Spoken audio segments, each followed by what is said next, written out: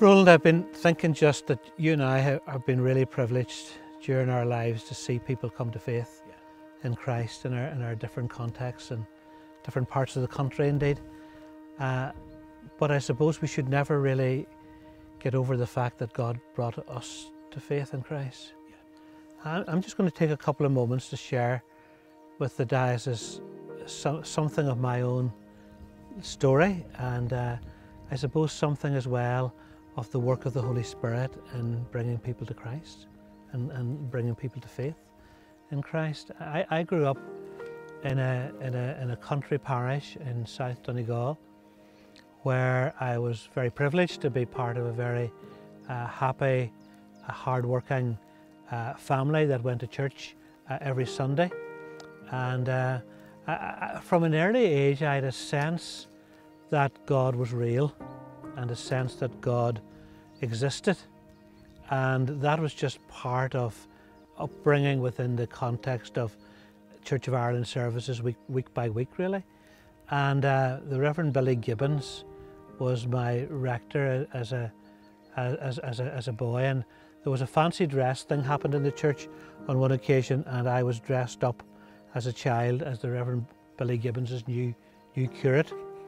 Um, uh, mind you, in my teenage years, that was the last thought on my mind, quite honestly, looking back on it.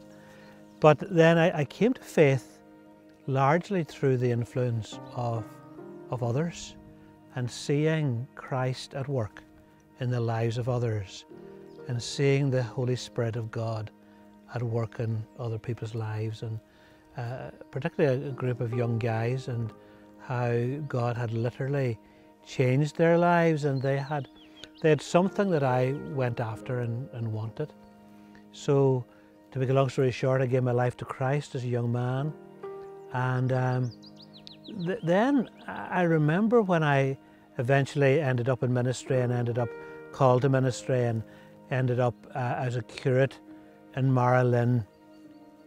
Roland Hutchinson was a, an evangelist and so it was wonderful just to watch this man of God at work, preaching in such a way and doing ministry in such a way that there was an expectation that people would be converted and that people would come to Christ.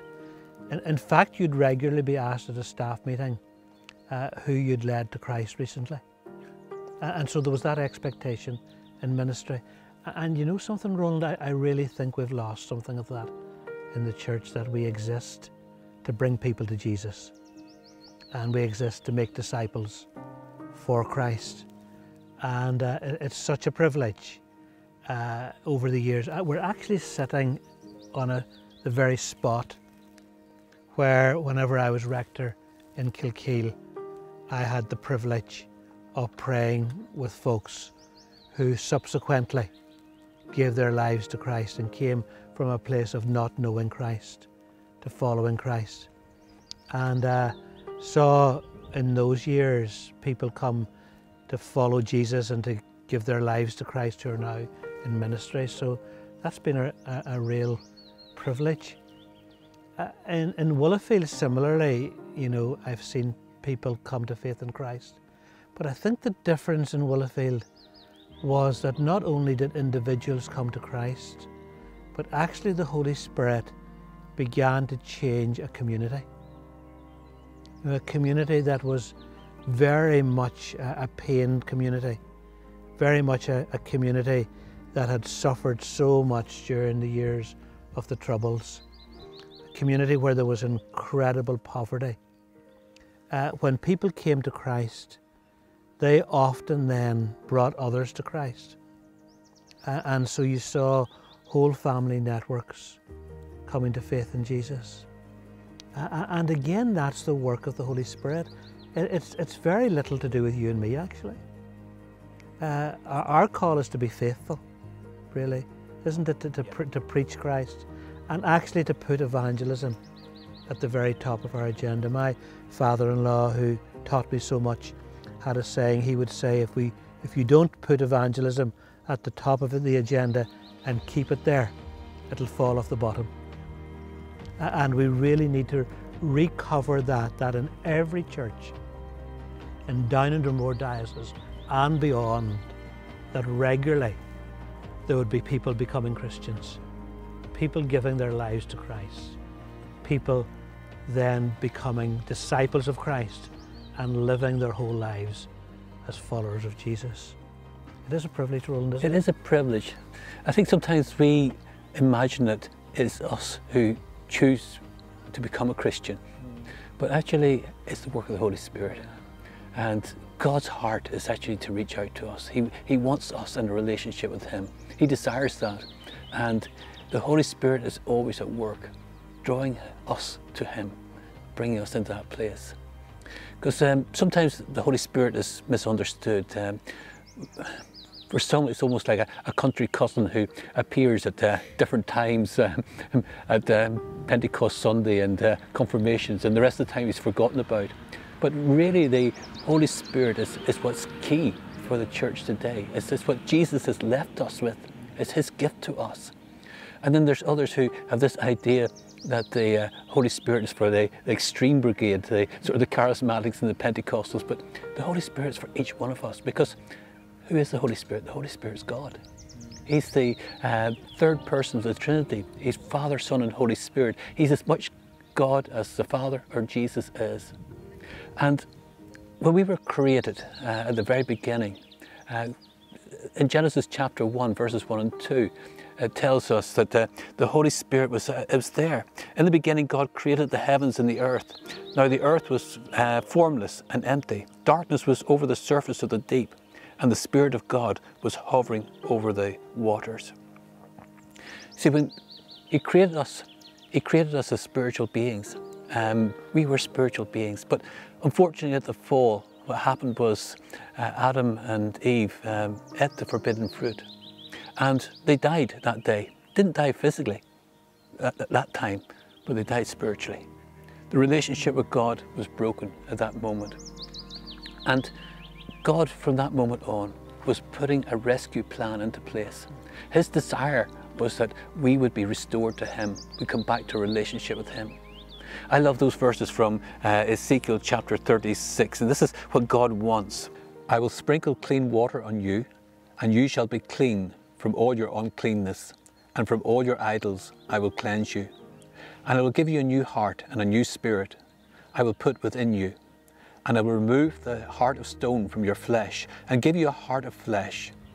And I will put my spirit within you and cause you to walk in my statutes and be careful to obey my rules.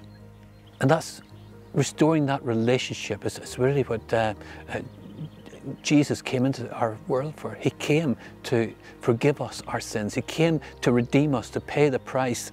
Uh, the cross says all, His love for each one of us. And that's what he, he wants to bring uh, to us, uh, that relationship with God. There's a lovely story in John chapter 3 um, of uh, a man called Nicodemus. And uh, Nicodemus was one of the uh, rulers, the spiritual rulers of the country.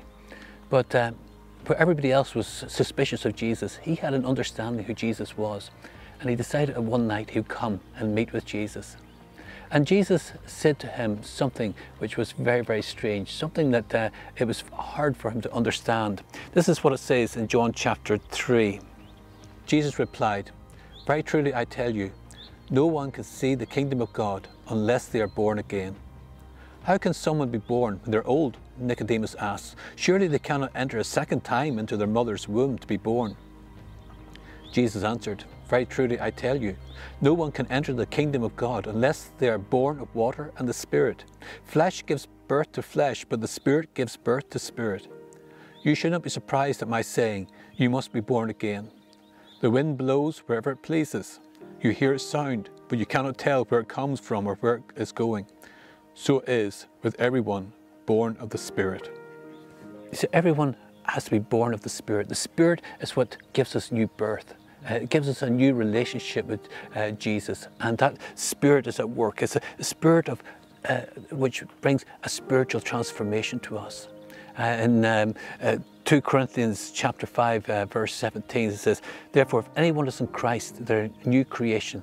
The old has gone, the new has come. So that's what the Holy Spirit does. Brings us into that relationship. So important. And the wonderful thing is, no two stories are the same. Mm.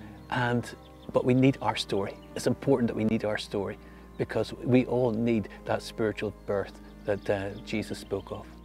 So I would encourage you to tell others your story.